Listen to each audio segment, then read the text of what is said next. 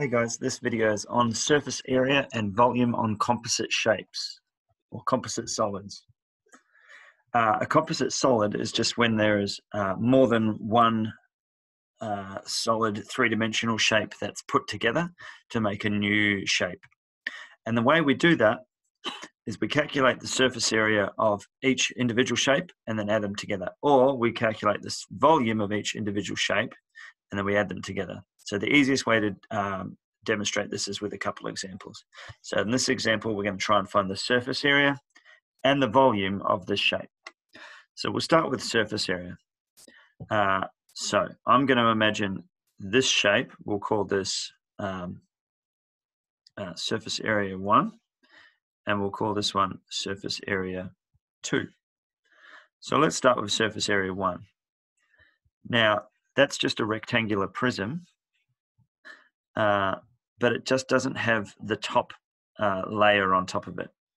So if we start with the sides, uh, we have 42 times 35, which would be this side, and this side. So we've got to times that by 2. Then we've got the front, which would be 9 times 35. And the front is the same as the back. So we'll times that one by 2. And then finally, we've got the bottom, which is 9 times 42. Now we don't times by 2 because we can't actually see the top of this shape. So we'll just leave it as that.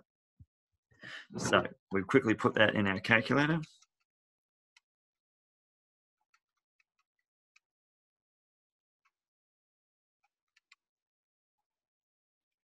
And I get 3,948 centimeters squared. So that's surface area one. Now we've just got to do the surface area of this cylinder.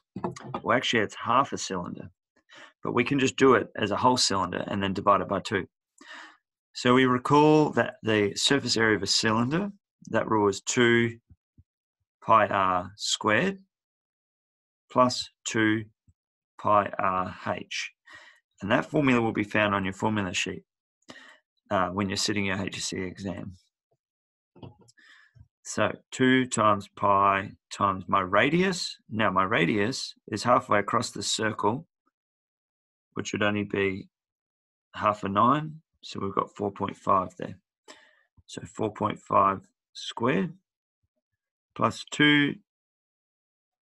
times pi times my radius again times by my height. Now the height of the cylinder is this length here, which we know to be 42. Okay, now we quickly put that all in our calculator.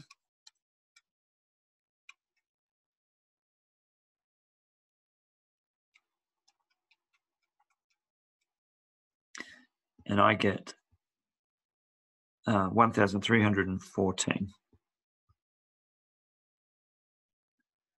Uh, 0.7. So we'll round that up to 1,315. Okay. Now our total surface area is SA1 plus SA2, which we can quickly add together to get our final answer of 5,263 centimeters squared. Now, that's our surface area. Our volume is the same thing we're going to call this one volume one and this one volume two. Now, volume one is just the front area, which is 9 times 35, times by how far back it goes, which is 42. So we're really just timesing the numbers all together when we do rectangular prisms, uh, which we get 13,200 and 30 centimeters cubed. Our volume 2, well, that's a cylinder, pi uh, squared times height, but we've only got half of the cylinder, so we'll stick a little half out the front. So we've got half times pi times my radius, which is 5.2, times by my height, which is 42 again. Whoop. So we quickly put that in my calculator. and I get 1,336. We'll round that up.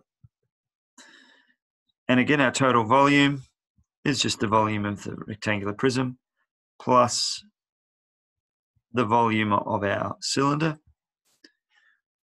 which we have come out to be 1,000, uh, 14,000, sorry, 566 centimeters cubed.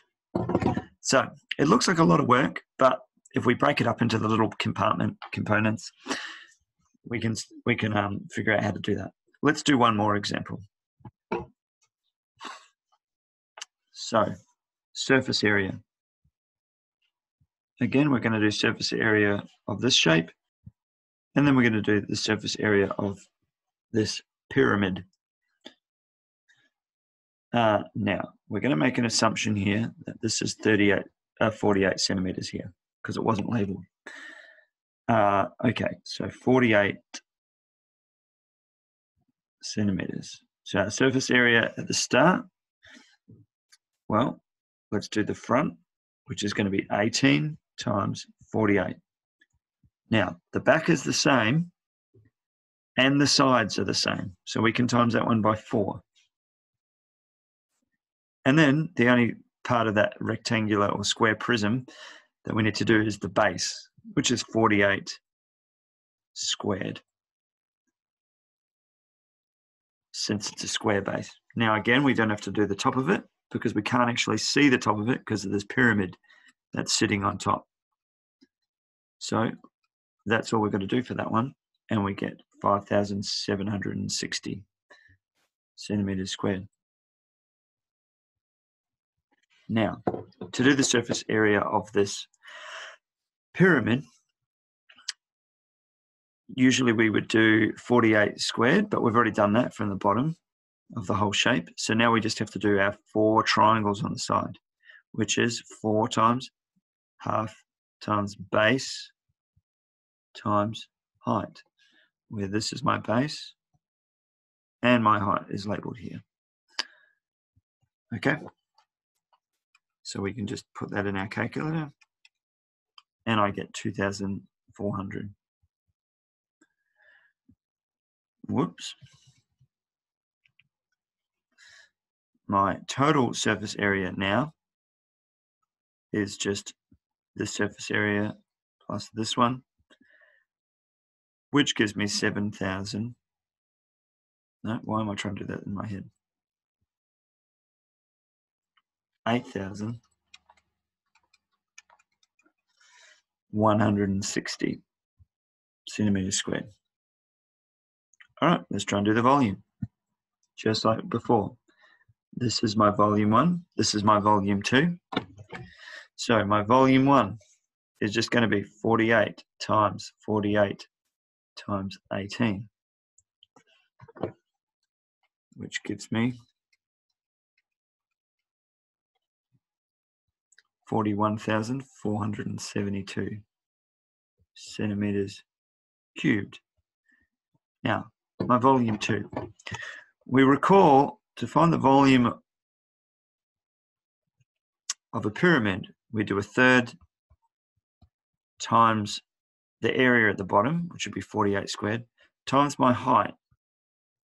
Now, what is my height? It's not 28, uh, 25 because that's my slant height. We need to figure out this height here. Okay.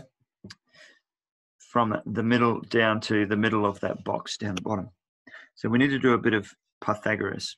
And we know this length here is half of 20, uh, 48. So it's 24 here. So we have, I'll just work down here. We've got this is 25. This is 24.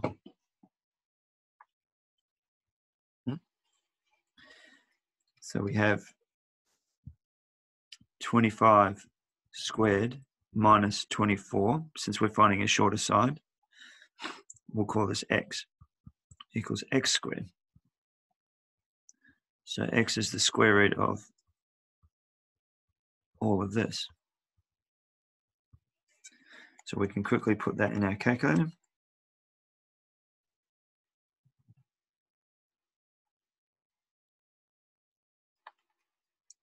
And we get our answer to be seven. So that is my height. All right. So now that we have that, we can go ahead and put that in our calculator. Eh?